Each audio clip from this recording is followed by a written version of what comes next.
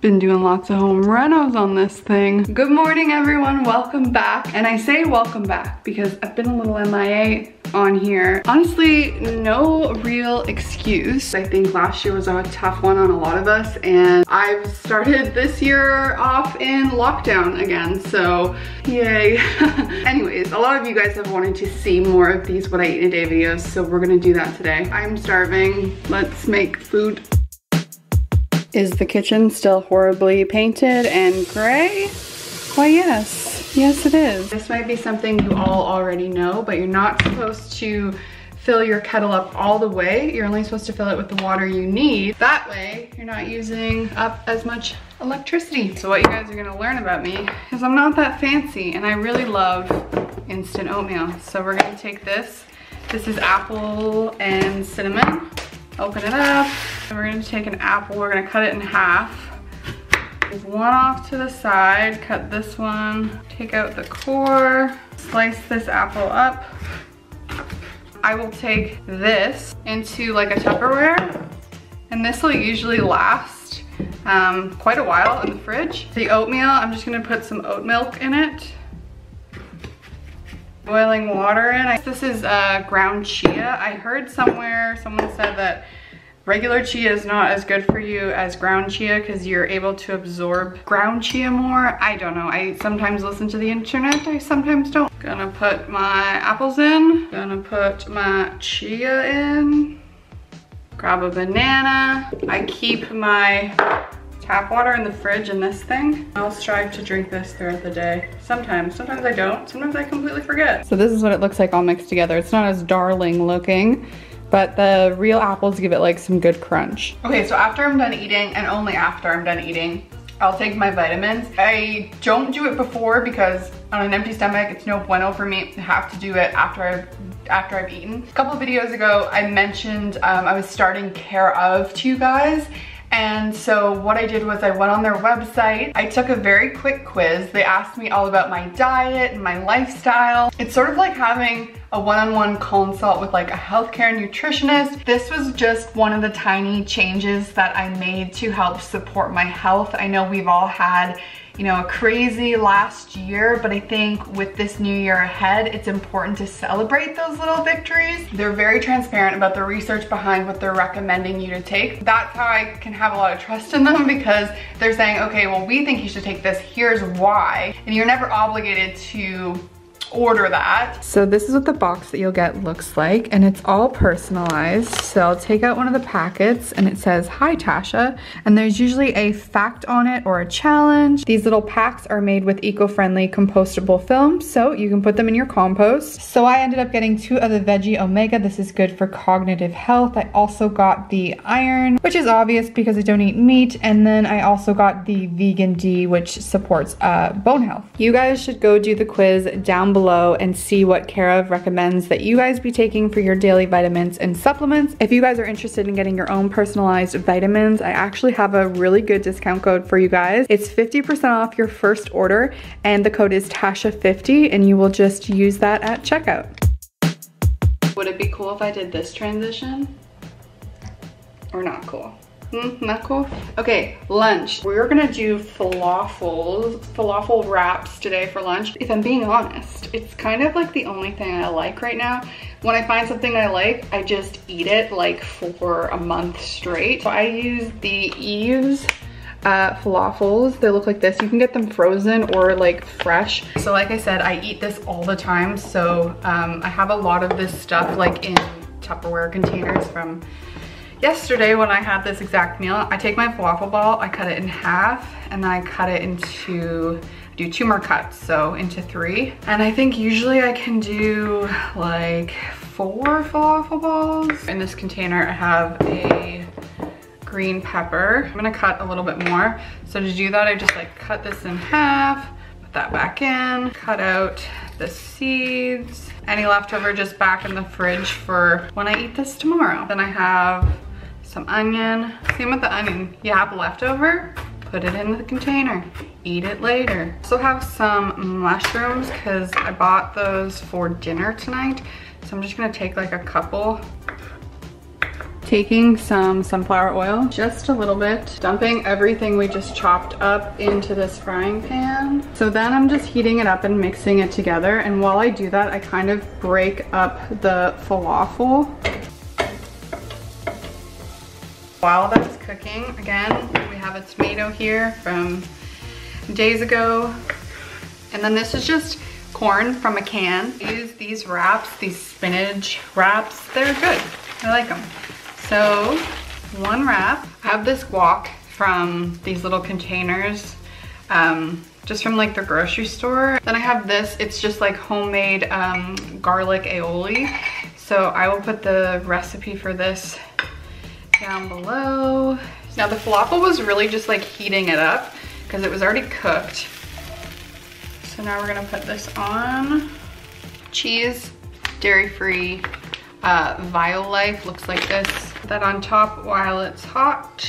Tomatoes, corn, spinach. Almost done this, water. Now I have to just say, if it looks like I can cook, I cannot at all, like at all. Um, and the only reason this was so easy is because I eat it like frequently. So there's always like pre-cut or like ready to go veggies in the fridge. Like I said, I think I'm gonna use mushrooms in my dinner tonight.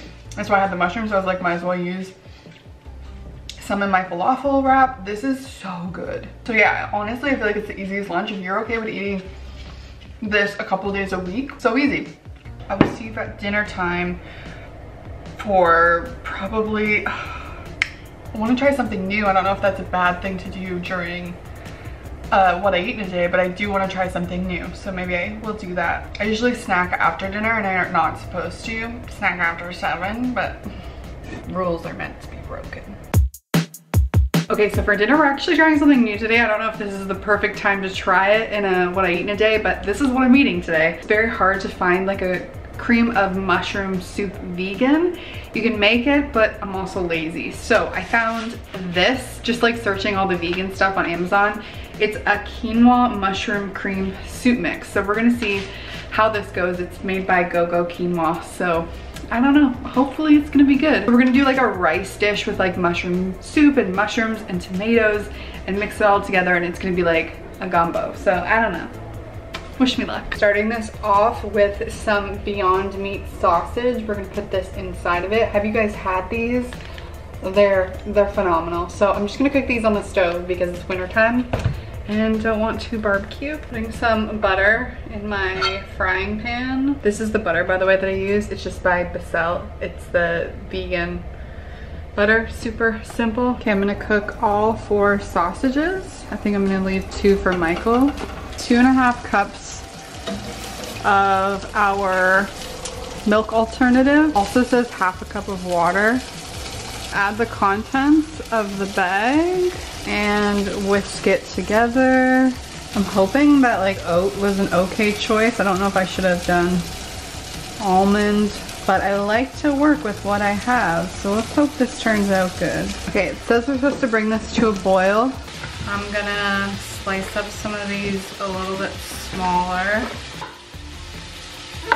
Okay, here's the soup I've brought to a boil. It overboiled. I am no chef. Then we're supposed to let it just stand for 10 to 15 minutes so that it can get all thick and creamy. These are looking good. Also, just keep turning them. I'm gonna finish cutting up this tomato so I can use all of it.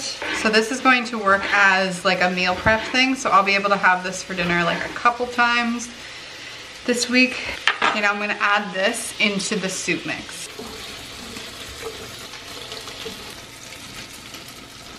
So the mushrooms I probably should have cooked prior to putting them in, but I kind of like it because it's gonna be kind, they're gonna be kind of crunchy. I don't know. We'll decide, so for next time I know. But anyways, this is off heat, it's just thickening up. And then uh, I made some rice, so the rice is just like chilling. Cut up some of the sausage. I only cut up two because I'm gonna give the other two to Michael. Can I add some spinach into there? I feel like, why not? I feel like that's what eating plant-based is about half the time, just like throwing random veggies into your dinner. First step, rice for the base. Then I'm gonna put like a bunch of sausage in so that it gets like covered in the sauce when I put it in. Okay, and then here is the soup. These are hemp hearts. Lots of good things in these for you. I'm just gonna sprinkle that on top. Okay, I really hope this is good because look at how freaking good this looks. Water.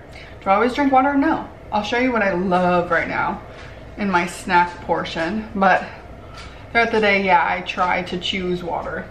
The Beyond sausage and like the mushrooms and the rice and like, I mean, and the spinach, it's all gonna be good. It's just like, is the soup good? Could this, the soup could ruin all of this.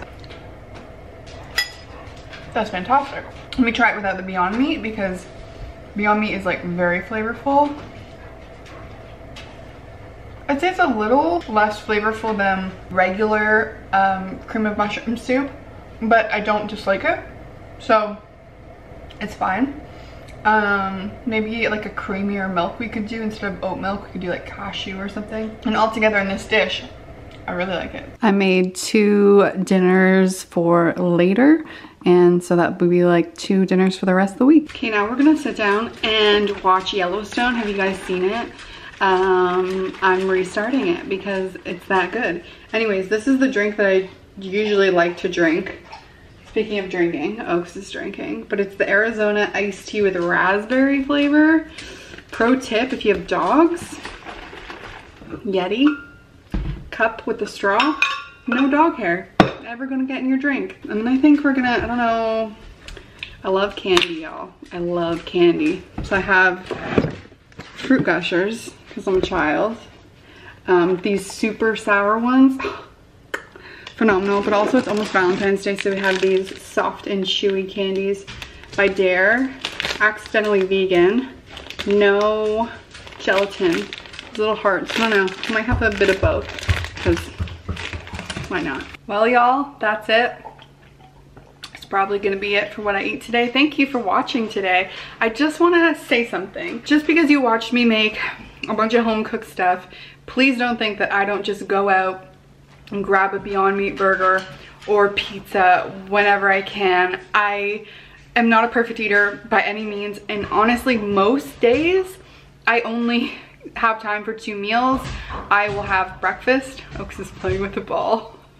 Have breakfast and dinner and like half the time I have that falafel for dinner so I'm not a perfect eater. The purpose of this video is to just show you some new meals that you guys could eat also. And I do tend to snack a lot, but obviously three meals today, I wasn't snacking that much. I'm not a perfect eater and like, don't let this video make you feel bad for your eating habits because they're your eating habits and I can't tell you what to put in your body. Nobody should. So that's something I gotta say because sometimes when I watch these, I feel a little bit guilty about what I eat and um, just know that you didn't see like the massive amounts of candy I ate last week. Hmm? Don't forget to check out Care of and get yourself some personalized vitamins. It'll help you stay on track, especially if you're vegan and you're not getting enough in your diet or plant-based or vegetarian. Okay, bye guys.